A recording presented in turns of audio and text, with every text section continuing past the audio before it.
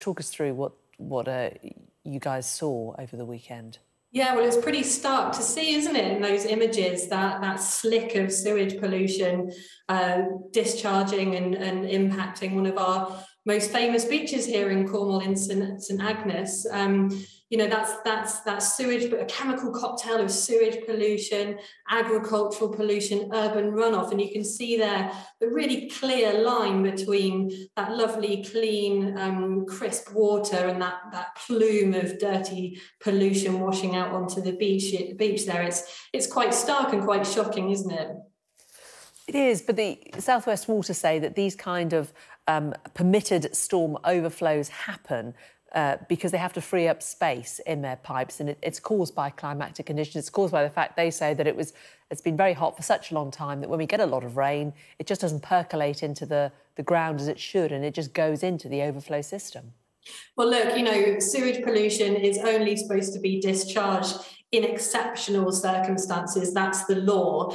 And what we're seeing more and more is, is people out and about capturing these, these images, putting them on social media, um, you know, at the, at the slightest slightest sign of rain. And we just wonder whether that is exceptional circumstances um, as per the law. So, you know, th- this is this is pollution that's damaging our, our health, damaging our environment. And it's it's something that you don't expect to see, but yet we're seeing it up and down the country on our beaches and in our rivers all the time.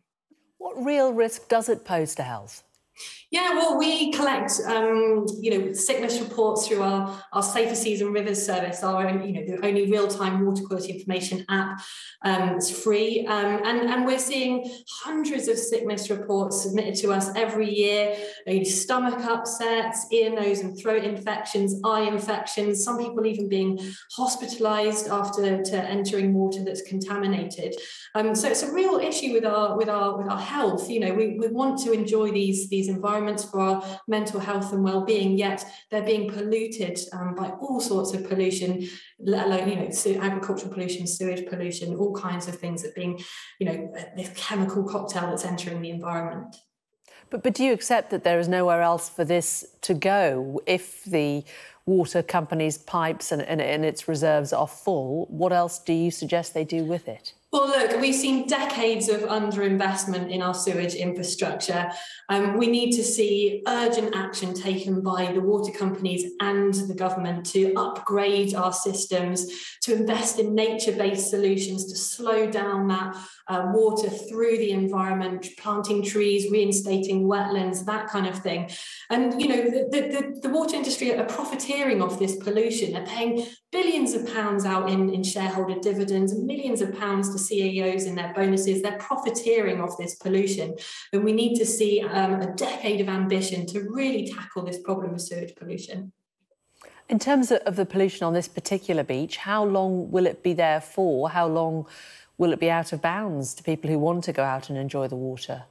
Well, the, the, the, discharge itself has, has stopped, but we um, keep our notification live for, for, for 48 hours after that pollution incident um, has stopped occurring, just to allow for that dispersal of the water, to allow people to kind of ensure that it's as safe as possible before um, people go in. But ultimately, it's people people's own decision about whether it's safe to go in the water at that time. We, we put out notifications in real time as to where that sewage pollution is happening happening and when. Um, but it's to allow people to make those informed decisions about when it's safe to enter the water and not. And clearly, as you're seeing there, you know, yesterday it looked pretty pretty shocking. Today, I've been down to the beach today. It's looking relatively clean, but we're st- we still got that pollution incident live, that warning live, just so um, we can make sure that that, that dispersal is happening and, and people can make those informed decisions about what the risks are.